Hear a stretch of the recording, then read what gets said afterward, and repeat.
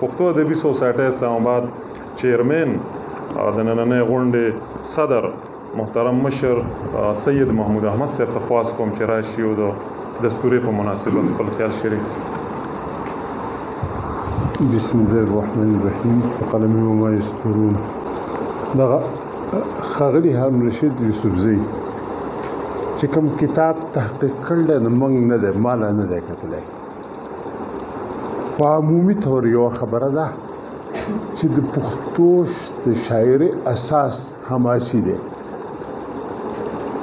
ځکه چې پښتون چې کله هم که چاربیته ده که یو ایونټ شوی دی نو هغه په شاعرۍ کې محفوظ دی په چاربیته کې د پښتو د دور به تاسو داسې داسې چاربیتې واورئ چې هغه ټول چې څه شوي دي چا توره وهله چا ډز کړ دی که څوک تښتېدلی دی هغه به پکې ټول دي دا واحده ژبه ده ما ته ښکاري د عربۍ نشم ویلی چې نور د دې مزاج حماسي دی د یو پښتون چې هغه کې د شاعرۍ جراثیم فطري او حماسي ماحول ته لاړ شي نو دا خبره ښکاره ده چې په هغې اظهار به هغه حماسیت په خوښي او په دغه لحاظ باندې به هغه شاعري کوي یا د شاعرانو سره به محبت کوي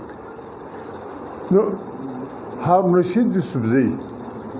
په خپل هم تعلق د دغه ادارې سره ده پښتن ده حماسیت خوښ ده او حماسي شاعران خوښ دي نو په دې وجه شاعر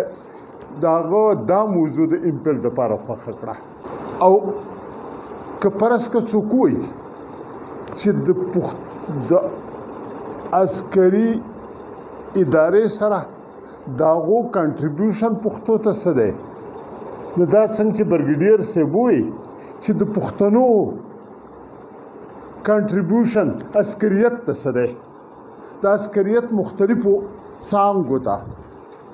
چې میډیکل کې څه کنټریبیوشن ده مارشلټي کې څه کنټریبیوشن ده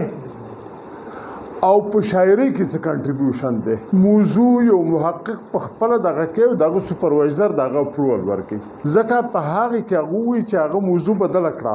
د تحقیق سرخط چون هغه بدل کې دې طرف ته راوست نو دا د څه د اعتراض خبره نه ده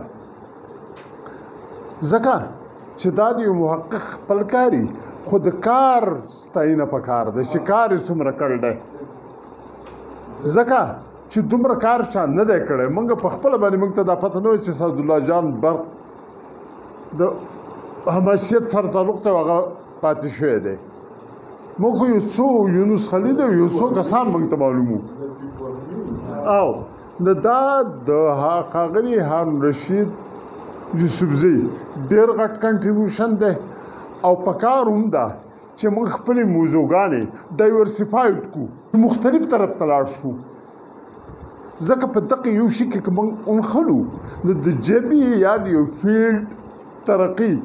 هغه په یو یونټ کې نه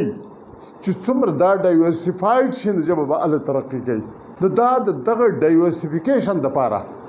یو ډیر ښه قدم دی او پکار ده چې زمونږ نور خلک د کوم ادارو سره دغی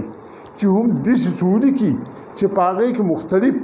خیال خلک راشي او مختلف موضوعګان پښتو تراشي که څوک وي چې زه د پښتو خدمت کوم زه د دې سره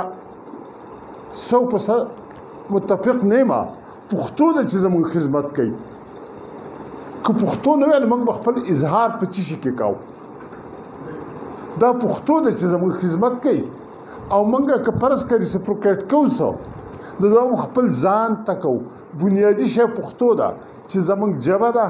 مونږ له اظهار ذریعہ ده